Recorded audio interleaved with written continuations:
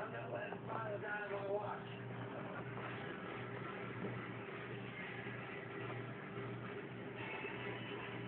And then I saw the thing.